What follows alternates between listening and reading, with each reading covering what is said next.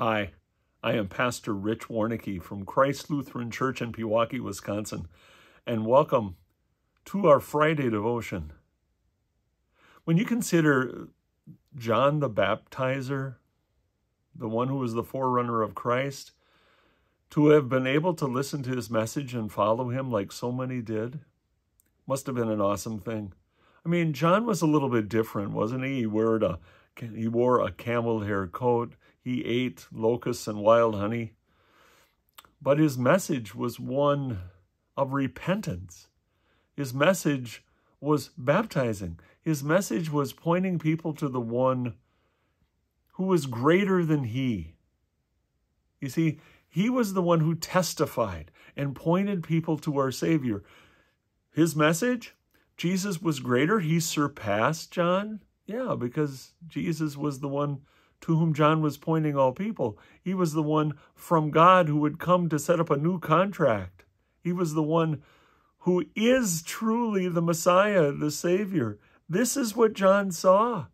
He also reminds us that even though a lot of Jews certainly relished the writings of Moses and looked to him as the great prophet of God, it's John the Baptizer who reminded them and also you and me that Jesus' message was all about grace, all about truth.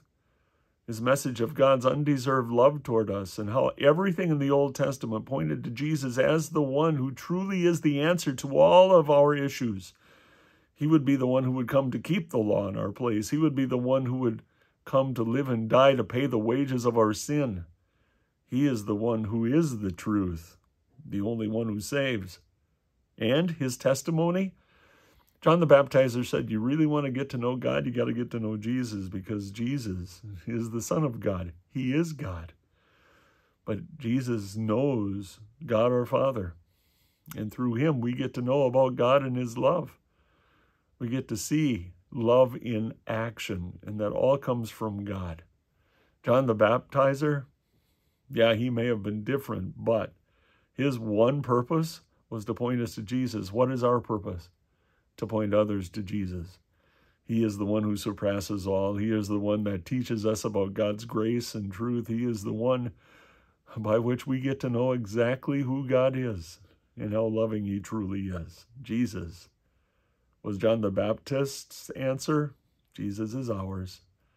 And that's what we share with all. Listen to it. John, the gospel writer, writes about John the Baptist and his message from John chapter 1, verses 15 through 18. John the baptizer testifies concerning Jesus. He cries out, saying, This was he of whom I said, He who comes after me has surpassed me, because he was before me. From the fullness of his grace we have all received one blessing after another. For the law was given through Moses, but grace and truth came through Jesus Christ. No one has ever seen God, but God, the one and only, who is at the Father's side, has made him known. Until next time.